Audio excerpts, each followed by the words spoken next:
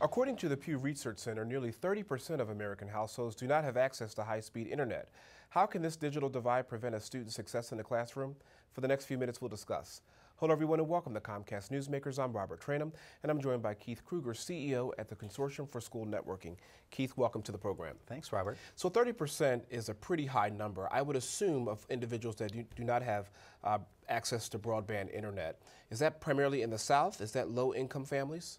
Well, primarily? nationally, uh, that, the, those statistics show that in fact it varies by income, and uh, families that have over $75,000 incomes have about 90% of those families have access. And if we go down to 30% or lower, uh, or $30,000 income, uh, almost 40 or 50% of families don't. So we have got a huge equity issue. Keith, here we are in 2014. Uh, we're having a national conversation about digital rights and about privacy and social media and so forth. It appears that even kindergartens, kindergartners are going to school with some type of a PDA or a laptop. Why are we still having this conversation about a digital divide in 2014?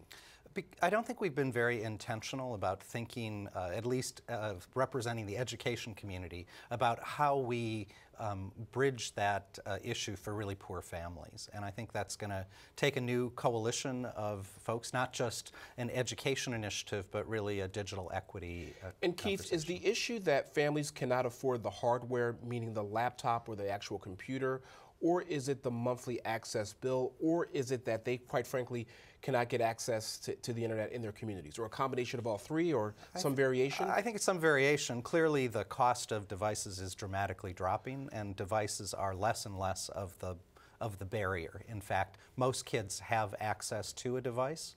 Um, the interesting thing is that only at school, uh, only about 11% of classrooms have a one-to-one environment, meaning there's a device for every kid.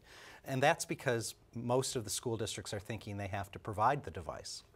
Uh, but in fact, some school districts are letting kids bring their own devices.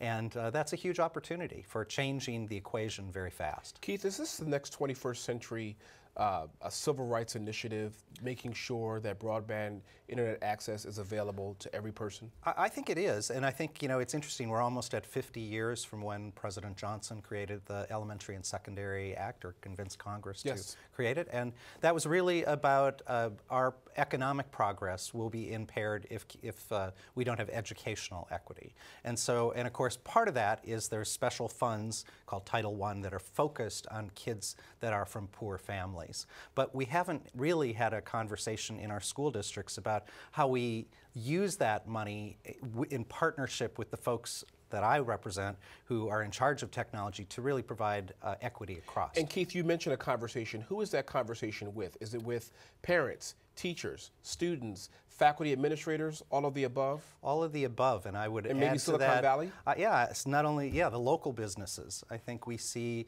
in some communities where businesses after school are providing their Wi-Fi networks for kids to have access to do homework.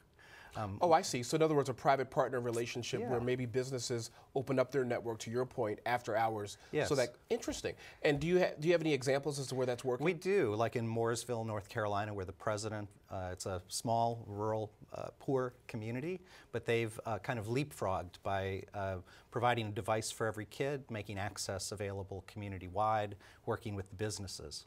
And we have about 20 seconds left, and that's widely accepted in the community. In other words, people enjoy that type of a service. Yeah, and I think it's um, it's part of a whole education reform strategy, but it's having big impact on results. Keith Krueger, thank you very much for joining us. It's always good to see you. Good to see you. And thank you for joining us for this edition of Comcast Newsmakers. I'm Robert Traynham. Have a great day, everybody. We'll see you next time. Bye bye.